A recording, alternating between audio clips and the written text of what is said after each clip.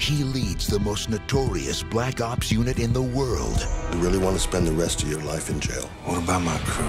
I have the authority to grant a full pardon. And a hundred thousand apiece. They're criminals.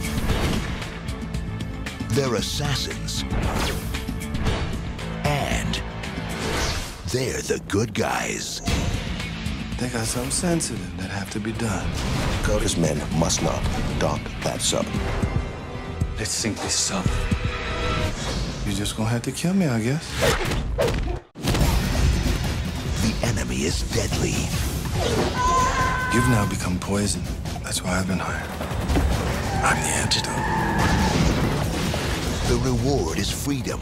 Just keep them safe. I wouldn't count on that pardon if you lose them.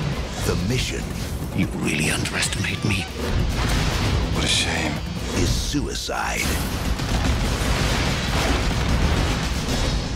Steven Seagal, Submerged.